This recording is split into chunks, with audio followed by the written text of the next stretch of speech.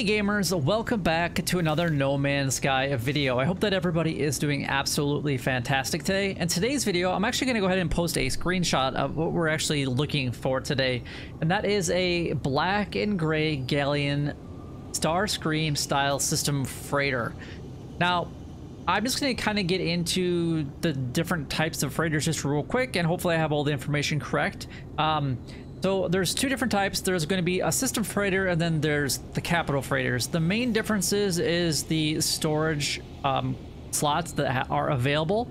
Now some of these can be upgraded and if you do get an S-Class then you can upgrade it further. Um, that's the way that I understand it. I only have an A-Class and I do have a capital freighter. But the capital freighters, or the system freighters, you can find just by pulse engine around the system until you find the one that you're looking for.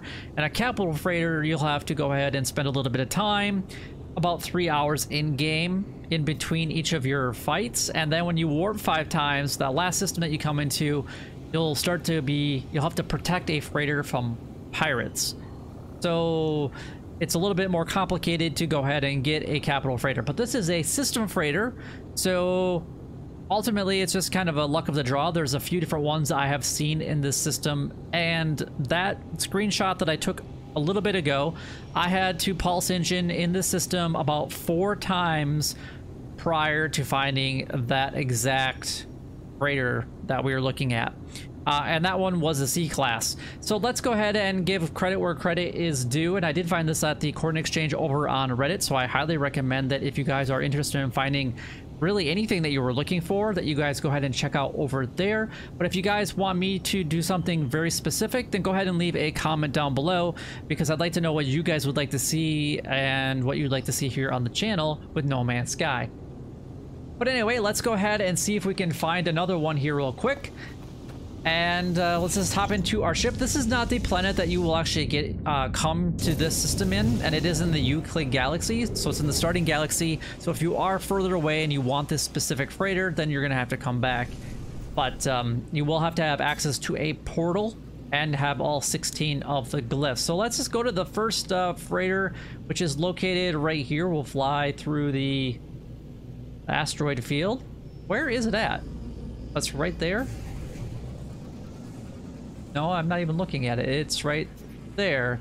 That is not what we're looking at, I'm looking for, because it does not have the sides. Now, I have noticed that a lot of these in this system, they are um, black and kind of gray or kind of a chrome style. And I forgot to mention who actually found this, and it's actually right there in the on the ship. So my bad. I did say that I found this over in the coin exchange, but I didn't say where, who was it, was it. But it says Tyrannosaurus, but on Reddit it's Tyrannosaur 85, and that's who found this. And I think he posted there quite a while, or quite a bit, just because I have seen his name come up a few different times. So this uh, freighter doesn't look like the one that we're looking for either, and I can tell that just by looking at the silhouette there. That is actually what we are looking for, but that is not one that we can go ahead and pain. So what we're going to do is we're just going to get a little bit away from the ships. We're just going to pulse engine, engage the pulse engines, and just go a little bit away from where those freighters are at. Now, you may or may not have to do this a few times. We could get lucky, and when we go ahead and deactivate it, the freighters that actually come around us could be what we're looking for, or they might not be, and we might have to do this again. Now, if you guys are specifically looking for an S-Class, which will basically have more storage capabilities up front, and be able to upgrade the storage higher, that actually looks like one that we are looking for right there.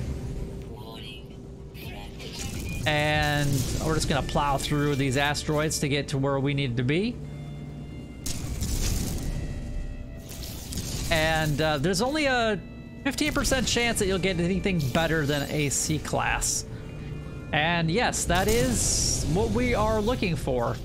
So let's go ahead and get to the other side so you guys can kind of see it. Obviously, I took the picture and you saw it earlier, but this is this is the one. So that only took us, you saw it live. I didn't even pause this at all but we found what we're looking for. So now what we could do, if this is one that you are interested in buying, which obviously if you're watching the video, maybe you're interested in taking a look at getting a new freighter, we can actually go ahead and land and then we'll find out what class this is. No, I'm not gonna purchase this one. Um, oh, it is a capital ship. Okay, but it's a system freighter. Interesting.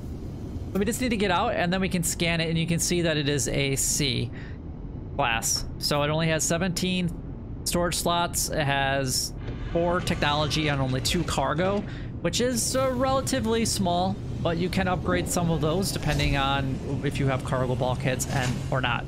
Now the system that we are in is a outlaw system. But anyway, let's, uh, now that we've actually found that, and hopefully you understand how to find this Australian freighters, which I'm probably sure a majority of people do, let's get into the coordinates so that you guys know exactly how to get here. And just in case you were wondering what my freighter looks like, this is, it's, it is pretty massive, and it's almost an all white with just a slight accents of pink. I thought the white and pink looked really cool, so that's kind of my color scheme with all of my ships and even my character, but thought I would just show that to you so you guys can see.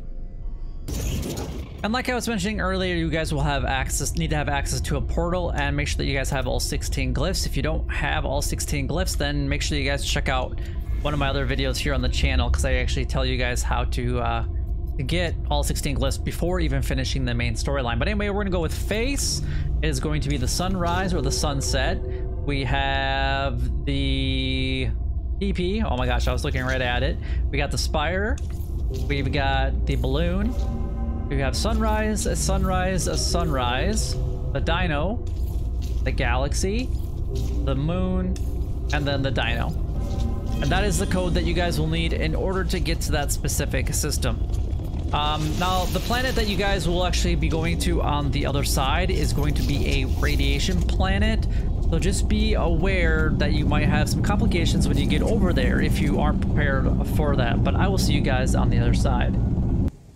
And here we are. Where we have landed on the planet, and he discovered this uh, this planet as well. So that's pretty pretty awesome. So anyway, this is the toxic planet or the uh, radiation planet that you do land on. And then we can just hop in our ship and kind of take off and go into space and just do our thing. But if you guys enjoyed today's video, then make sure that you guys go ahead and like, comment, and subscribe down below. It would help me out a lot and is greatly appreciated. And I will see you guys in the next video.